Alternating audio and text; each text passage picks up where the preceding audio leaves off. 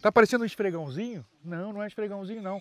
É um mini coelho da raça Minilope, que são esses coelhinhos, ó, e tá comendo um, essa planta verde aqui que eles gostam muito aqui, mas você tá vendo o Minilope tem como característica, eles têm as orelhinhas caidinhas assim para baixo, né? E olha, até a carinha some no meio do pelo, né? Eu vou até pegar mais um aqui, vou soltar e pegar mais um para vocês verem. Tem uma variedade incrível de cor, né? São animais de estimação muito legais, são super pets os mini coelhos. Deixa eu pegar aqui uma, ah, olha que coisinha linda aqui. Tem de todas as cores, ó. Tem cinzinha, esse também é mini lope de orelhinha caída, olha a orelhinha dele caída. Parece um gremlinzinho, ó. Olha que coisinha linda, cara. Então, para quem hoje, na maioria das pessoas hoje está morando em apartamento ou casas pequenas, não tem muito espaço, não dá para ter um cachorro. Pô, esse bichinho é muito legal, os coelhos interagem com a gente, é, eles aprendem que o nome, qual é o nome deles, quando você chama eles vêm. Eles têm preferência, inclusive, por determinadas pessoas em casa, que nem cachorro, gosta mais de um, não gosta tanto de outra pessoa. E são animais é, que podem viver até quase 10 anos. Então é um animalzinho legal para manter, né?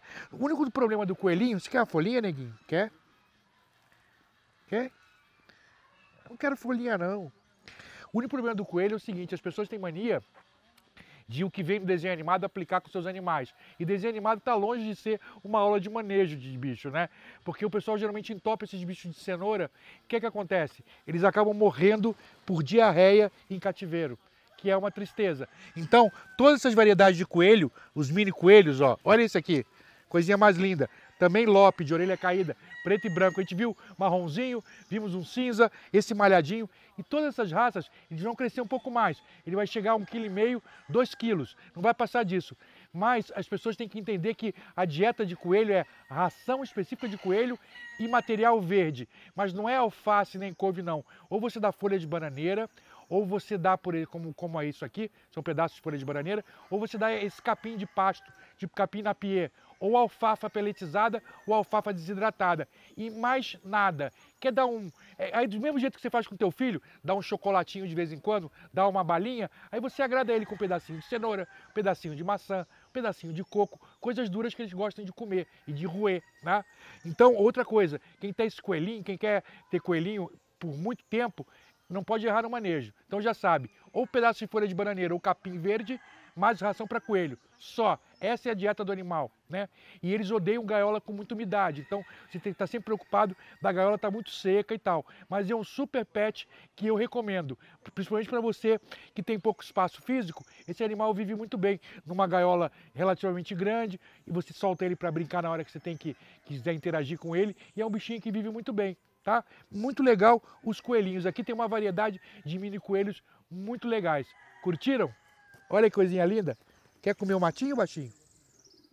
Ah, não quero não. Ah, eu quero sim. Hum, muito bom isso. Vendo? Você folha de bananeira. Curtiram? Mas ó, a gente já viu aqui mini cabra, mini porco, mini coelho, mas eu ainda tenho mais um mini especial para mostrar para vocês aqui, tá bom? Curtiram o coelhinho? Fiquem com eles, ó. Olha quanto coelhinho legal tem por aqui.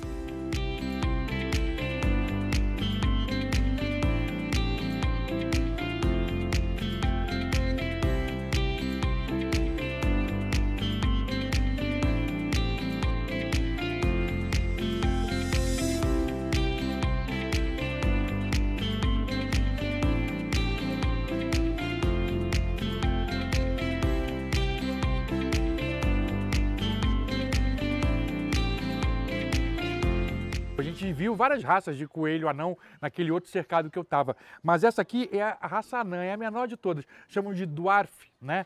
E os dwarfs são coelhinhos que não crescem nada. Um adulto não chega a um quilo, né? Um animal também de manejo delicado, ração, capim verde ou folha de bananeira e mais nada. Se você entupir ele de cenourinha, coisinha mole, ele vai morrer de diarreia. Então você pode dar um pedacinho de cenoura, um pedacinho de maçã, ocasionalmente como um prêmio, como você daria um chocolate para o teu filho, mas é, nunca exagerar. Estão aqui basicamente só na ração e estão super saudáveis com as fezes sequinhas, tá?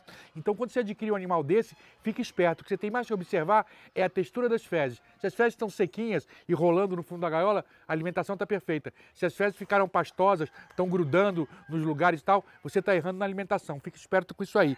Vou pegar umzinho aqui para a gente ver como eles são fofos. Ó, olha o tamanho disso. Olha que coelhinho, olha as orelhinhas curtinhas, cara. Olha que coisinha mais doce. Não é apaixonante? Isso é um animal ideal é para você ter no teu apartamento, né, um bichinho de área interna, fica numa gaiola que não precisa ser uma gaiola tão grande quanto essa que eles estão, e você vai ter um super companheiro, um amiguinho por bastante tempo, né? Se você fizer a alimentação é, é, correta e tal, coelhinhos, olha que coisa fofa, gente, né? Aí, aqui tem coelho para todos os gostos, por exemplo, desde o Dwarf, que é a menor raça de coelho, aí vocês estão vendo aqui do meu lado, ó, esses caras aqui são filhotinhos também. E eles são filhotinhos, são três vezes maiores do que esse. Isso aqui é uma raça chamada gigante de Flandres, que é um coelho que pode ficar com mais de 15 quilos quando adulto. É um gigante mesmo. Então, aqui a gente tem o maior dos coelhos, o gigante, do lado do menor dos coelhos, que é o Dwarf. Muito legal essa coleção de raças de coelho que a gente está vendo aqui. Agora eu vou deixar vocês para olharem um pouquinho desses coelhinhos, porque eles são lindos demais.